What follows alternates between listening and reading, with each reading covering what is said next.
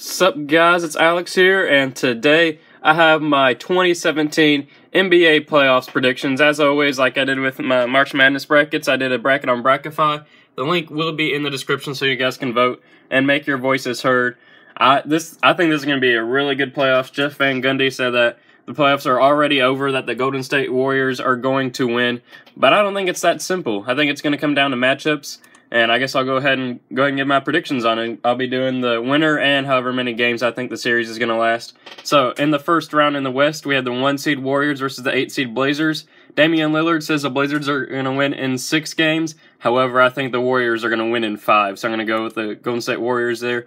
The Clippers and Jazz, I think this has the potential to be the best first round matchup. I know the Jazz are a very underrated team. The Clippers are doing really good. They have Blake Griffin, Chris Paul, DeAndre Jordan, Jamal Crawford, everybody like that. I think the Jazz have had an amazing regular season to make it up to the five seed. I think next year is going to be their year to make a huge run. They might even make it up to like a three seed in the Western Conference, but I think this year the Clippers are going to win in six games.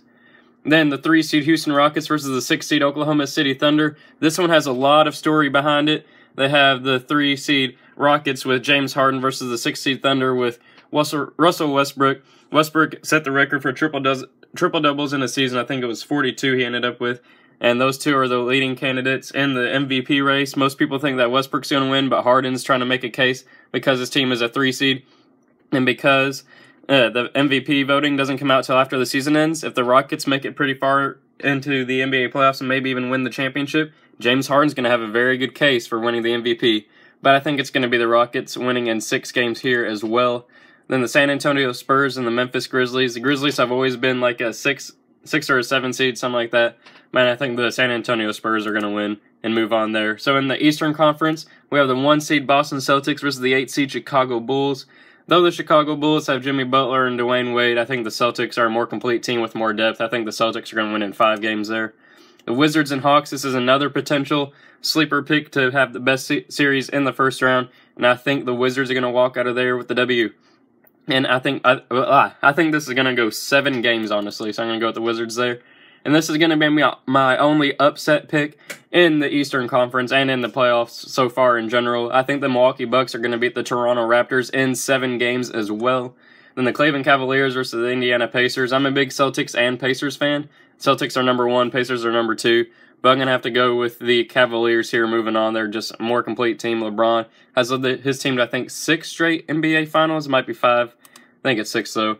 So then we have in the Western Conference semifinals, the one seed Warriors versus the eight seed Clippers. I'm going to have to go with the Warriors and five here.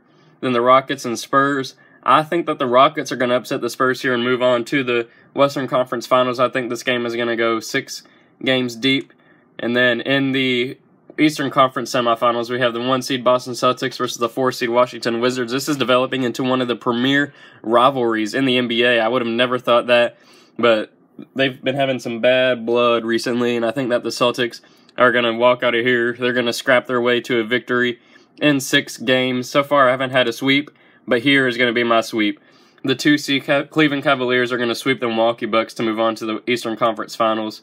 Then, for a trip into the NBA Finals, we have the one seed Golden State Warriors versus the three seed Houston Rockets. I think that the Warriors are going to be able to make it out of here alive. They have a more complete team, and they have a team that has more capabilities than the Rockets. I know they got James Harden, Clint Capela, uh, Eric Gordon coming off the bench. I think he's like leading the race for the sixth man of the year voting. But I think the Warriors are going to make it out of here, make it to their third straight NBA Finals appearance.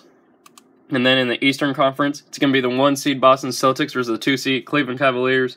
The Cavaliers have the tiebreaker in the se- season series. I think they won it like two to one or maybe 3-0 and I think I'm gonna go. I have to go with the Cleveland Cavaliers here. I really want to go with the Boston Celtics. They have a lot. I think they have a lot more depth than the Cavaliers do. But besides Isaiah Thomas, they don't have that guy that can just t- immediately take over the game. Cavaliers have two guys that can do that. They have Kyrie and LeBron. So I'm gonna have to go with the Cavaliers winning here. As much as it hates pains me to say it, I think the Cavaliers are gonna win. And I think it's gonna go seven games. And then in the NBA championship, the NBA finals for the third year in a row. The Golden State Warriors versus the Cleveland Cavaliers. These two teams are just the super teams of the NBA.